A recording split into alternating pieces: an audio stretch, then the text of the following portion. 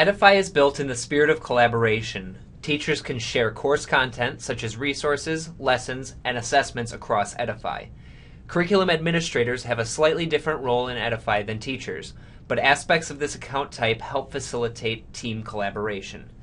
They have expanded access to content within the system and the ability to publish templates to teachers, as well as the ability to manage master templates, teacher templates, and student courses. Because a curriculum admin has access to all levels of a course, they can modify student courses just like a teacher.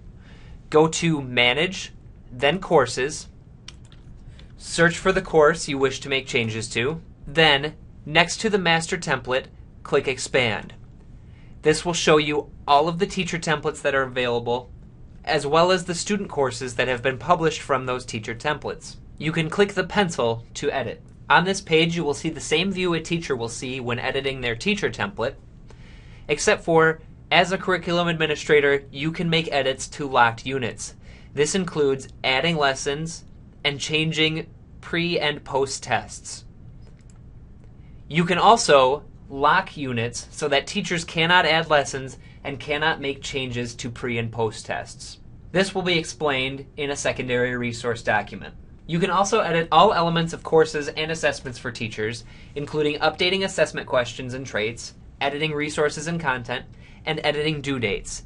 You do all of this in the exact same manner you would as editing from a teacher account. The primary role of a curriculum administrator is making sure that teachers are getting the correct course templates. This can include using pre made templates that are available for public use or creating a new master template for use by your school.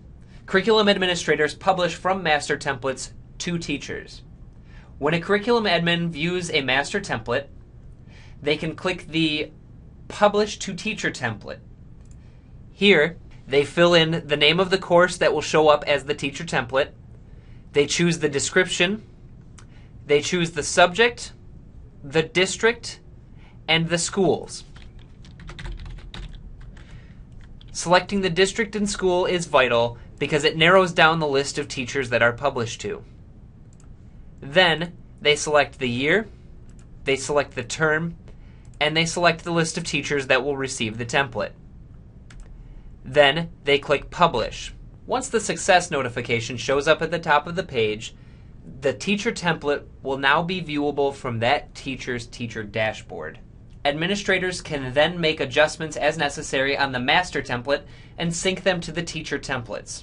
This works to prevent teachers from all having to do similar work, and instead focuses large scale edits into one simple process. Curriculum admins can also access student usage reports.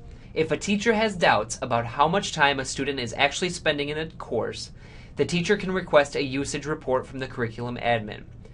Simply click Reports, then click Usage by Student. Enter the date, then enter the student's name.